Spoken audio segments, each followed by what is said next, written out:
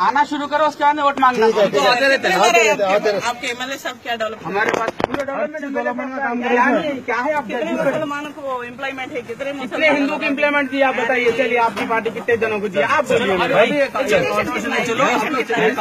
रफीक भाई रफीक भाई चलो आप गवर्नमेंट ने कर रही एमएलए साहब खुद अपने खुद के पैसों से काम कर रहे हैं ठीक है रफीक भाई तो अच्छी बात है जिसका एक बार हमारे यहाँ सरकारी स्कूल से डेवलपमेंट क्यों नहीं? कर रहे ना? क्या कर रहे कर रहे हैं? नहीं नहीं, नहीं आप आगे देखें तुम्हारे पता आगे देखो आप में एक बार आए तो क्या मालूम? आगे जाओ। आप आगे क्या हो रहा है? हो रहा है, चलो नेक्स्ट टाइम रफीक भाई को लेके चलिए चलो। पार्सल आएँगे। के बाद होता है ठीक है। राइट चल रफीक भाई। ओके नो प्रॉब्लम चलो राइट